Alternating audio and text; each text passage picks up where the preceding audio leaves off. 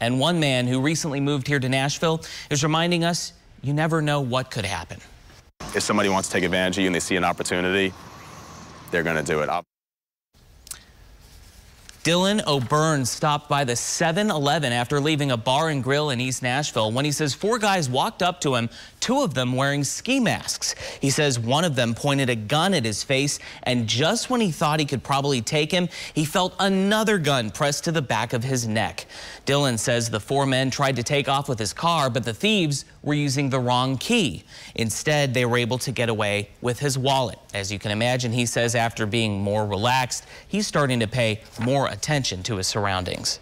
I put that stuff out there to like people should be more careful, especially this area looks like it's nicer. It looks like crime has been pushed out, but crime doesn't know borders. It doesn't know zip codes. It's it'll creep in wherever it wants to, wherever it sees opportunity.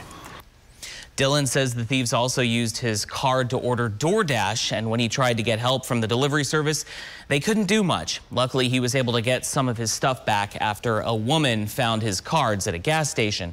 But Dylan says it's his wallet that holds the most sentimental value. We reached out to police about the robbery. They tell us they're aware of what happened and an investigation is underway.